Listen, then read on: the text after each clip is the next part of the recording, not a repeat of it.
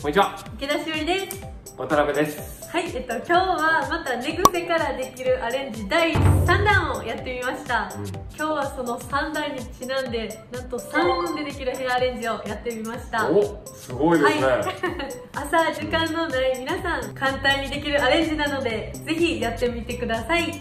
でも練習は必要です。必要です、はい。では動画スタートリレイのオイルを使っていきます。23滴出します。髪の毛全体にオイルをなじませます。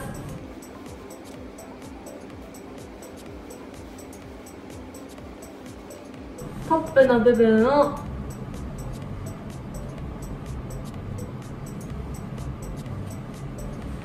このぐらい取りラッカールで留めておきます。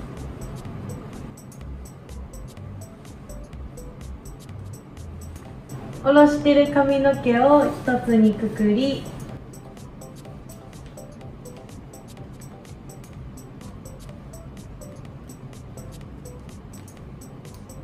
くるりんぱしていきます。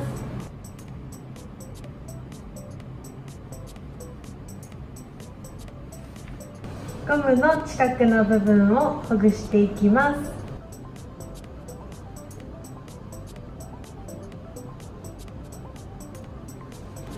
上の髪の毛を下ろしてきて面を整えたら少しねじります。そのままくるりんぱの中に入れます。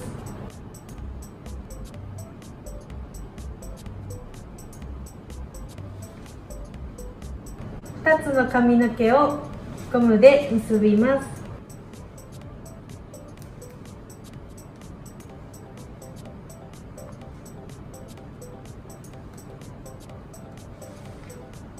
トップの部分をわしづかみにしてほぐします。横も少しほぐします。これをゴムの部分に当てて崩さないようにくくっていきます。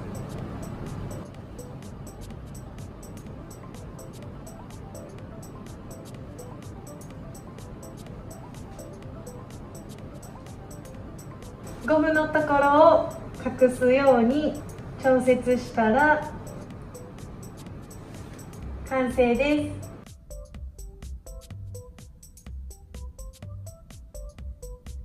寝癖からできるシリーズ第3弾今日もやってみました。今日使ったものはオイルとゴムだけです。ぜひ皆さん挑戦してみてください。バイバイ。